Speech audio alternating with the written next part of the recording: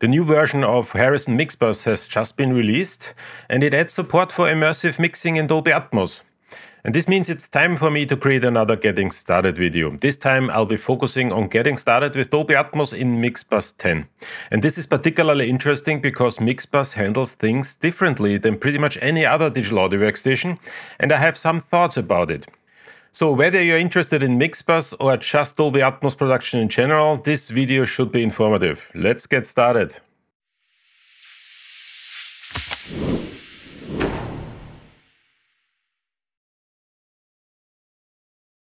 In this video, I will first briefly discuss what Dolby Atmos is, as I expect that some viewers might be new to this concept, so a little refresher could be useful.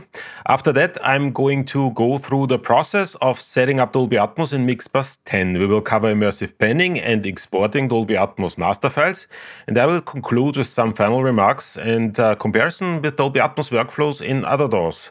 So let's first talk about what exactly Dolby Atmos is. Well, in a nutshell, Dolby Atmos is a next generation audio format that combines channel based audio with object based audio. Channel based audio is what we have traditionally been working with, whether it's stereo or surround sound ranging from 5.1 to 7.1.4 and beyond. Object-based audio, on the other hand, is an approach commonly used in game audio or immersive audio production. It treats sounds as objects in three-dimensional space, and instead of thinking in terms of audio channels, object-based audio considers sounds objects, their locations and movements. The advantage of object-based audio is that it is more flexible in terms of speaker layouts and listener positions. Dolby Atmos combines the two. It contains a channel-based component called the Dolby Atmos bed, consisting of 10 channels in a 7.1.2 layout. This means that there are seven horizontal channels, two overhead channels, and one LFE channel. And it is important to point out that the LFE channel is not to be confused with a subwoofer channel, as I see that misconception a lot. Those are completely different things. LFE stands for low frequency effects, and that is different from a subwoofer. In addition to the channel-based component, Dolby Atmos also has up to 118 audio objects, along with the object positions and other metadata. And these together form 128 channels, along with the metadata, and they are stored in what is called a Dolby Atmos master file. This master file can then be rendered dynamically and optimized for the speaker layout used in a specific listening environment.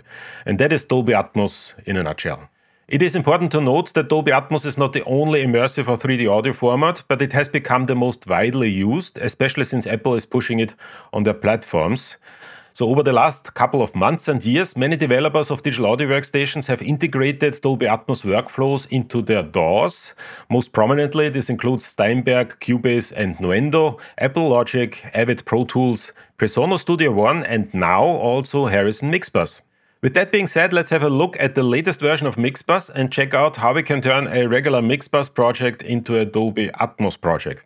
Now for this video, I'm going to work with Mixbus on a Mac, but everything that I'm going to show works on Windows in exactly the same way. And I should also mention that none of this is sponsored. Everything that I'm going to use today has been purchased with my own money. And uh, with that being said, let's open up Mixbus version 10. So where is Mixbus? Well, here we are. And what I'm going to do is I'm simply going to open up a new session and I'm going to turn that into a Dolby Atmos session. Now, if you create a Dolby Atmos project in Mixbus, be sure that you set the sample rate to 48 kilohertz and the buffer size to 512 samples. This is a requirement by Dolby Atmos. If you don't set it that way, then some of the features that we're going to use are not going to be available to you. They're going to be grayed out. So if you ever come to the problem that uh, you see something that you can't select because uh, it is grayed out, then most likely the sample rate or the buffer size have been set incorrectly. So just make sure that you have 48 kilohertz and 512 samples and you should be fine. So let's start that up. And what I'm going to do is I'm going to simply add three audio tracks and I'm going to use a couple of samples that I've used in the past, especially in my game audio tutorials. They have uh, treated me well and I know that they are not going to cause any copyright issues. So let's just drop them here. So we have the first one here, and then we have uh, another one here. And what I'm going to do is I'm going to kind of then turn that into Dolby Atmos, but let's just kind of first drop that in here. And uh, let's have a listen on uh, what we have here. And let's just look that. And let's maybe make the mix bus larger because mix bus uses a lot of space. Now, if we want to turn that into Dolby Atmos, what we need to do is we need to go into the session menu. And in the session menu, here we have this option immersive panning, and we simply need to select that. And as soon as I've selected that, and I'm not kidding, everything has been turned into a Dolby Atmos project. There's nothing else we need to do at that point. We are pretty much done. Well, I mean, not quite, because there are a couple of things obviously that we can adjust and we can play around with, but in essence, everything has been turned into a Dolby Atmos project. And we can actually see that if we go into the mix view. And in the mix view here, we now see that we have an added master bus. In addition to the traditional stereo master bus, we have this uh, immersive audio bus, and I'm currently monitoring that in binaural. So I currently hear the binaural output.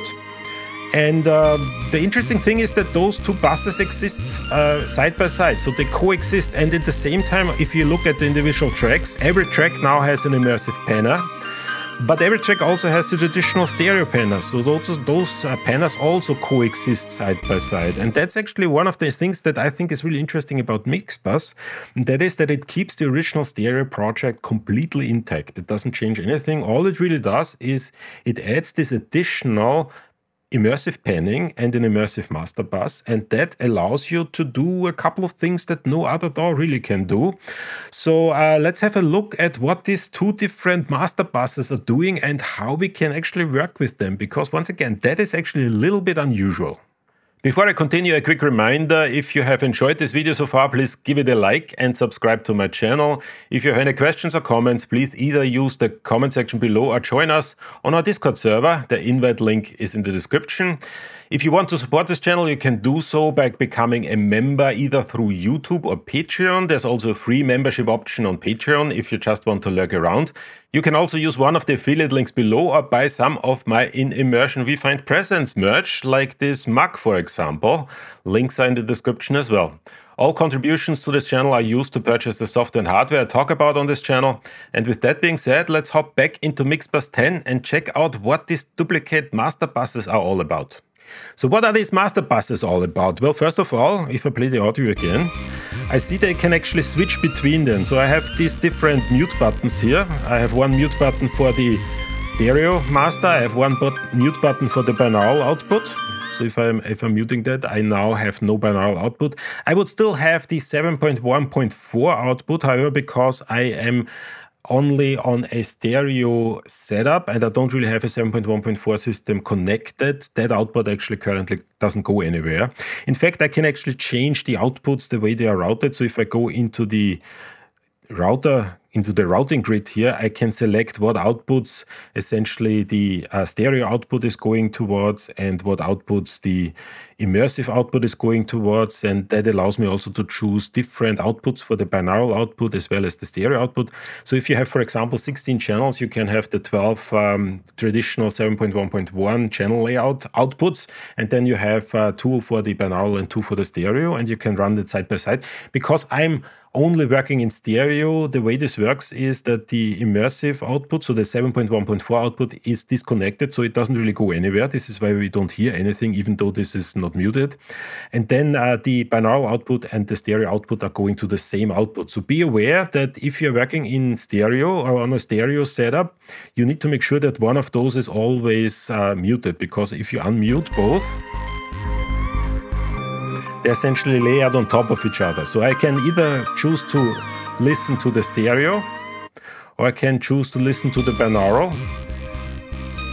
And I can work with both independently, and that essentially means that I never touch the stereo setup, the stereo settings in my project. I only add the binaural settings on top of everything, and that makes it really, really convenient. So let's have a look at the panner section because we now also have two panners, one that pans into the stereo master bus and one that pans into the immersive master bus. And for that, let me just kind of turn on the audio again. So let's unmute the binaural and let's maybe just solo the first track here.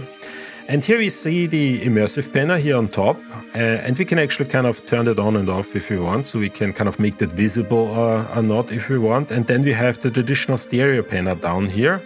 Now the way this works is that the uh, panners work independently from each other. So if I change the stereo panner, for example, I'm not going to hear any difference in the immersive signal because the immersive signal is panned through the immersive panner. However, all the effects that are on that particular track, including the fader, essentially are applied to both um, the stereo output as well as the immersive output, which is important to under understand.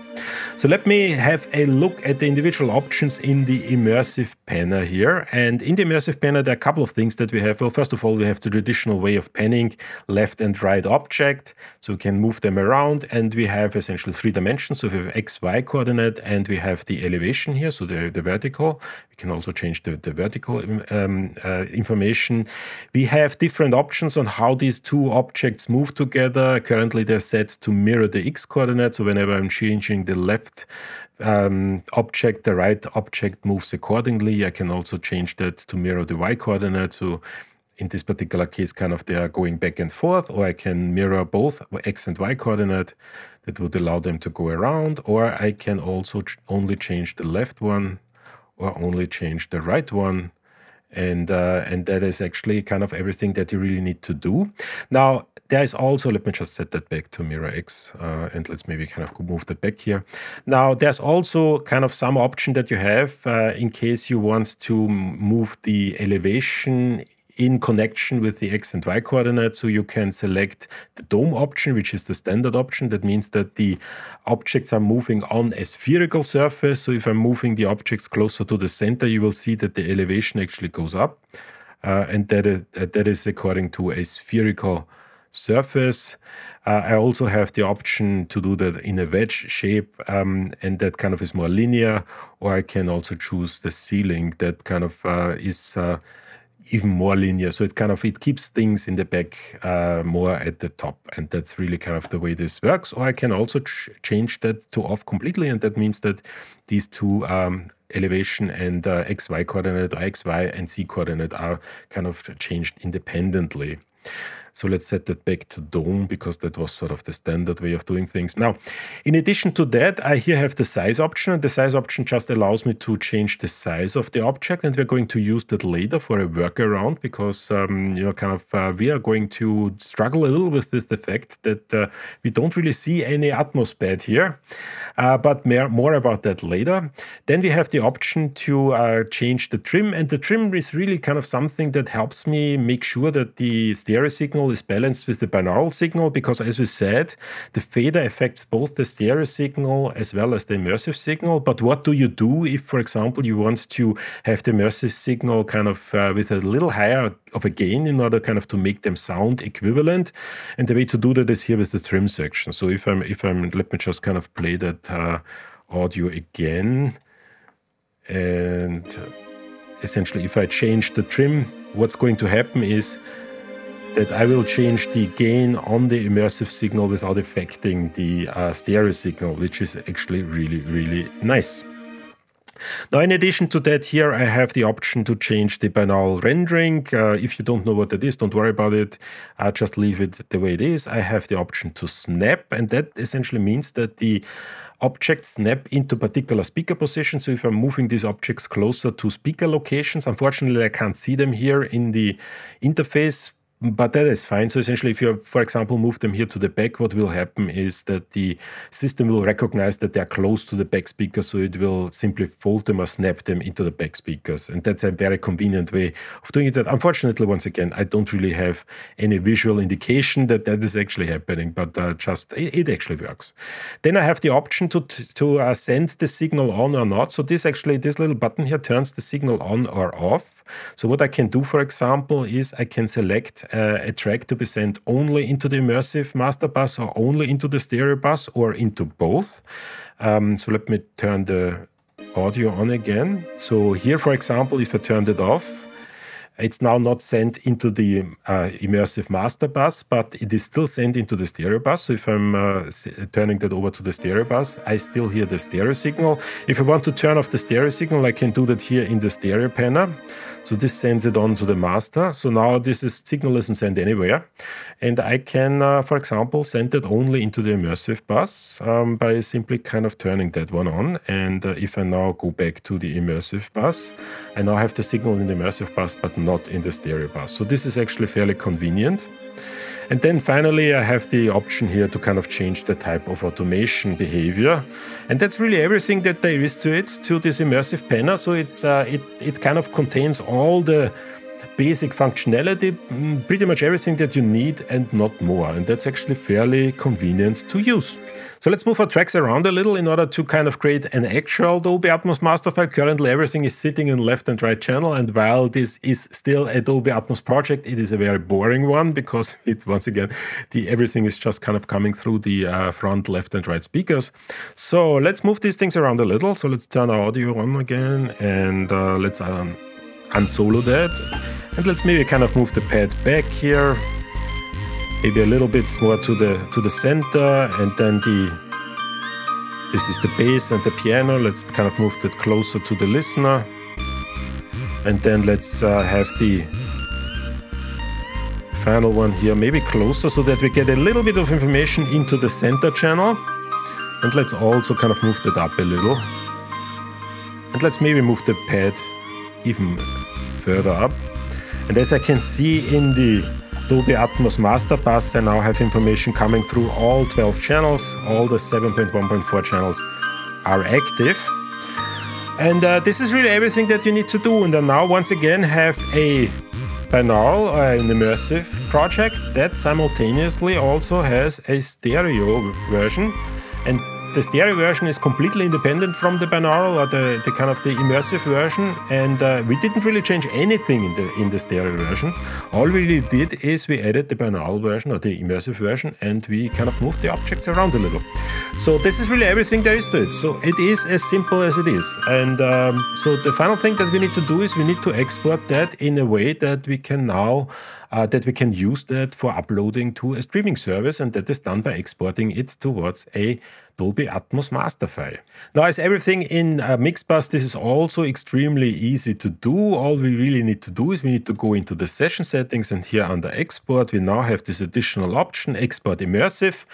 Um, ADM, so that's the uh, Dolby Atmos master file, and we click on export immersive, and uh, I can select what exactly I'm going to export, session start to end, and uh, then essentially simply click export and that's everything that there is. And as soon as it's done it's going to come back. And I now have that exported as a Dolby Atmos master file. It, it is as simple as it is. Now I now want to figure out if that's actually a correct Dolby Atmos master file and the easiest way to do that is simply by opening that up in the Dolby Atmos renderer. So let's open up uh, that master file in the Dolby Atmos renderer. And for that purpose what I'm going to do is I'm going to drop that onto my desktop so that I can find it easily. And then I'm going to uh, open up the Dolby Atmos renderer. Here we have the Dolby Atmos renderer. And uh, it's going to open up the renderer. And then we're going to open up that master file. And that master file is on the desktop here. This is the one that we have just created. Let's open that up. As soon as I open that up, uh, the master file is loaded and if I play that now, I should hear that master file and I should see all the object positions here in the visuals of that particular kind of um, Dolby Atmos master file. So let's just play that. And here we have the objects and everything is working exactly the way it's supposed to. Now, you might notice that we have more than the six objects. So the six objects come from the three tracks. Let me just kind of stop that again. So the six objects come from the three tracks. These are three stereo tracks, so technically six objects, but they're actually more objects that uh, Mixbus created. And uh, the reason we have more objects is simply because if we go back into Mixbus, we see that it's not only those three tracks that are routed into the binaural or uh, into the immersive master bus, it's also all the mix buses that are routed into that master bus. So we have a additional 24 objects that are coming from these 12 mix buses. If I want to reduce the number of objects used in the Dolby Atmos master file, and this is actually something you want to do because the um, additional objects require a lot of space that you actually don't need because none of these mix buses is in use, we can simply turn off uh, this, uh, send to the immersive master bus. And if I turn it off, uh, Mixbus will not create additional objects for those mix buses, and uh, it will reduce the number of uh, the total number of objects that you have in the final Dolby Atmos master file. At this point, you have probably noticed that the Atmos implementation in Mixbus does not feature bed tracks. Mixbus can only work with objects. In the manual, Harrison points out that bed tracks are not critical in Dolby Atmos music production, but they plan to implement them in a future release of Mixbus. And the same goes for LFE channels, which are also not really present in Mixbus. Now, it is true that bed tracks are not really that important in music production. The only time you would use them would be for immersive effects. Uh, for example, if you want a sound object to reverberate within the entire space. If you add the reverb just to the sound object itself, it will be localized to the position of that sound object, and that is not necessarily what you want in a reverb. If you want to hear the reverb everywhere around you, you would generally want to add a bed track that holds the immersive reverb, but you can't really do that in Mixbus. But fortunately, there's a workaround, so let's have a look at that one. So let's say I want to add an immersive reverb to the first track in the Dolby Atmos project, um, and I want to do that in a way that is not localized to the position of the object. So once again, if I would just add the reverb to the object itself, that uh, reverb would be localized at the position of the object, but I actually want to have that reverb all around me. I want to have it really immersive. And uh, the way I'm going to do that is I'm going to use the object size and I'm going to actually create a separate object for the uh, reverb itself and uh, I'm going to increase the size of those objects in order to give it a more immersive experience impression. And this is actually something that is relatively easy to do in Mixbus, and it is a reasonable workaround for the fact that we don't really have a Dolby Atmos bed. So let's just start up the audio again, and I'm going to solo this one track and I want to add an immersive reverb. So the way I'm going to do that is I'm going to send that onto one of my mix buses. And uh, if you're working with Mixbus, or if you are familiar with Mixbus, you know that the first eight mix buses have a different or kind of are used differently than the final four. For this particular purpose, we need to choose one of the final four. This, there's actually no particular reason for that. It's just the way Harrison has implemented that. I'm assuming they had a reason for that, but uh, who knows? So uh, we're going to choose one of those four, and I'm going to simply choose Mixbus number nine. And uh, if I do that, I now see in Mixbus number nine is this additional audio signal coming through. I'm still sending on the uh, signal through the original track, so this is going in, and also here in Mixbus number nine, it's going in.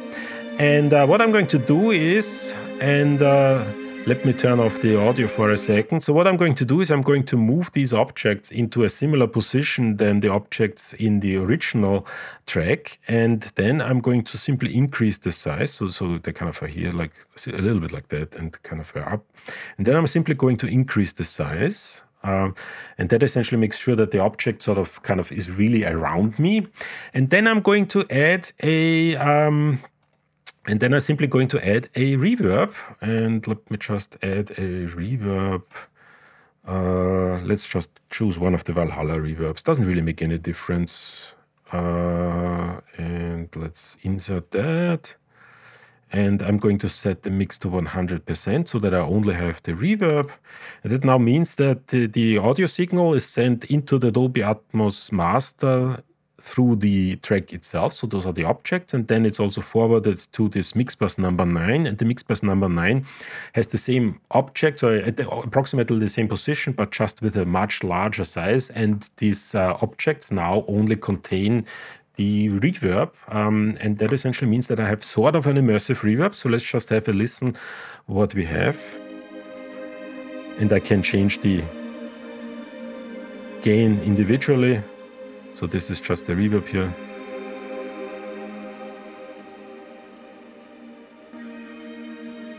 And with that, I can sort of fake a Dolby Atmos bed. And um, I would agree with uh, Harrison that in 99% of the cases, if you're working in Dolby Atmos music production, this is actually more than enough. Um, obviously, you can't do any of the fancy techniques that you could do um, with a Dolby Atmos bed, for example, for movie productions or anything like that. But uh, for music production, this is more than you need. This is everything that, that actually kind of uh, is necessary in order to create an immersive reverb, and that's probably the only case where you really need a Dolby Atmos bed. So this is a reasonable workaround, but once again, the fact that the Dolby Atmos bed is missing is a little bit of a limitation. So what's my final opinion? Is the Harrison implementation of Dolby Atmos practical and useful? And I have to be honest, when I first saw that Mixbus does not include the tools necessary to create all the individual features in a Dolby Atmos production, in particular Dolby Atmos bed tracks, I was disappointed. But the more I used it, I started to realize that this limitation might actually be a good thing. By keeping everything as simple as Mixbus does, the barrier to entry for existing Mixbus users is exceptionally low. You can simply take an existing Mixbus project and turn it into Dolby Atmos by simply pressing a single button. And then all you really need to do is to fine tune the immersive mix. And uh, as you do that, you never compromise the quality of the original stereo mix because the original stereo mix is in the project as well. Your stereo project stays exactly where it was when you started to create an immersive version of the mix. It is always there and it never changes as you work on the immersive mix. And that is exceptionally convenient for anybody who is used to working with Mixbus in a more traditional mixing workflow. I used to say that the Dolby Atmos implementation in Studio One has the most consistent and easiest workflow, and this is still the case if you want to create Dolby Atmos with all the bells and whistles, such as Dolby Atmos bed tracks and customizing the LFE channel. However, if you're primarily working in stereo and just want a digital audio workstation that can add an immersive mix to your stereo project so that you can submit the Dolby Atmos master file to the different streaming services, then Mixbus is actually an extremely strong contender. And this is obviously especially the case if you have been a Mixbus user in the past. If you have been working with Mixbus, there's no longer any need to switch to any other digital audio workstation for Dolby Atmos. Mixbus 10 is really everything that you need. But what are your thoughts? Let me know in the comment section below, especially if you're a Mixbus user. I would really be interested to learn if this is something that you appreciate. The fact that Harrison implemented Dolby Atmos in an extremely straightforward way and didn't do any of the complicated things that you see in other digital audio workstations. Is this something that you appreciate? Is this something that you think uh, should be expanded on so that Harrison Mixbus does the same thing as any other digital audio workstation? Let me know. I would really be interested. But that's everything I wanted to say today. Thanks again for watching my videos. I truly appreciate it. If you have any questions or comments, please use the comment section below or join us on our Discord server for a chat. And with that being said, see you all at the next video.